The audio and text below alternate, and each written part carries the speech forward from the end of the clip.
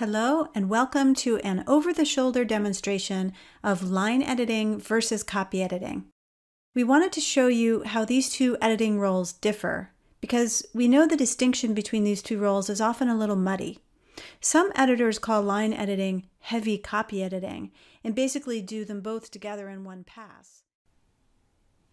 So, the first thing that we're going to do is make sure track changes are turned on.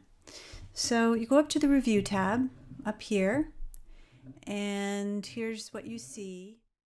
All right, so let's get started. We're going to be working on the line edit to begin. Hospice, you're joking, right? Cecilia said and put down her chopsticks. Okay, now you don't actually need the Cecilia said. Um, that's a dialogue tag and it's not necessary here. I think it would be a little smoother to just say, Hospice, you're joking, right? Cecilia put down her chopsticks.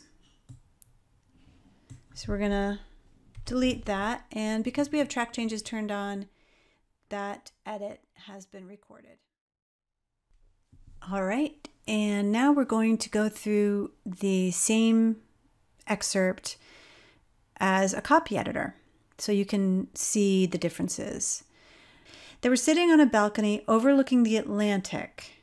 Now, that's an ocean, and it needs to be capitalized. So let's get in there.